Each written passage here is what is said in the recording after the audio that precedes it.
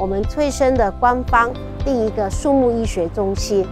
提供服务、培训、研究、教育，让国内的树木保护人员的制度来上路。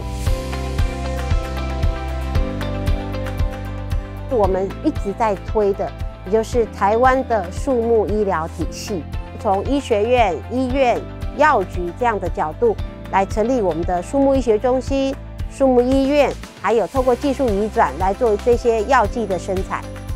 我有个计划呢，一直在做核根病的通报系统，各地有疑似树木得了核根病，它都会通报到我们的中心来，然后我们中心负责给他诊断鉴定和防治建议。十年前我就到香港去报考这个国际树医师的证照。台湾的树保制度要上路，正确的人来修树，来维养树，最为健康。我在做的一个工作，也是会到给地方县市政府志工上课，推广教育。希望做的就是说，把树种好。要种树的时候，你就需要去咨询树医师，告诉你你应该选择正确的树种，适地适种，好的维护管理。在我们的生态环境中达到永续的目标。